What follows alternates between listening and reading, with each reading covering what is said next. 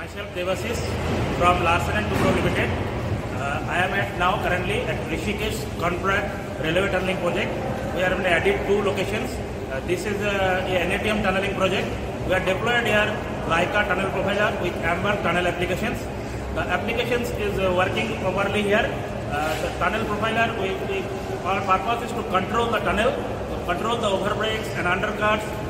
We use it here properly and we get the good results. We have the Amberg uh, anal, analysis work also get the shotcrete thickness and others, the quality of the tunnel, measure the quality of the tunnel and we analysis it properly, get very good result here.